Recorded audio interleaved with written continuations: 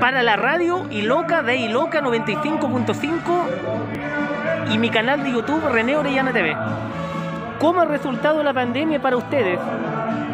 Bueno, primero que nada, para todos yo pienso que nos afectó mucho, sobre todo los músicos, pero de menos a más fuimos y, y qué bueno que ya se esté retomando.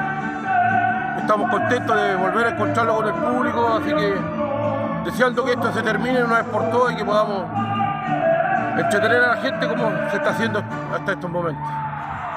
¿Tiene disco nuevo? Se sacaron discos nuevos, pero no, todavía no, no, no tienen el, el, el, realce, digamos, como era antiguamente, porque ahora todo lo, ya el CD está quedando, está quedando obsoleto, ya no, no es lo mismo.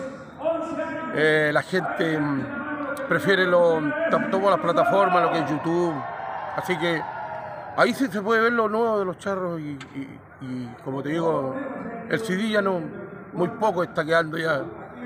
Es así la tecnología, pues ahora ya viene el pendrive, la memoria. Es así.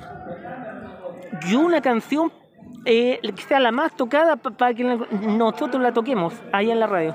Es que son muy son hartas canciones tocadas, Muchas por ejemplo, como Jardamarte, Delando de Borrachera, ah.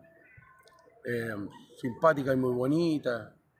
Son de los temas clásicos que marcaron una, lo, lo, la historia de los charros en este caso.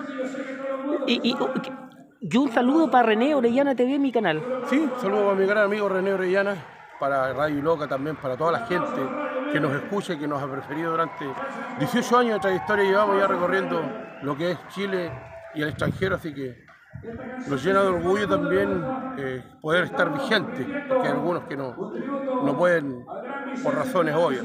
Pero feliz y contento y esperando ahora luego salir al, acá a la pista de la media luna.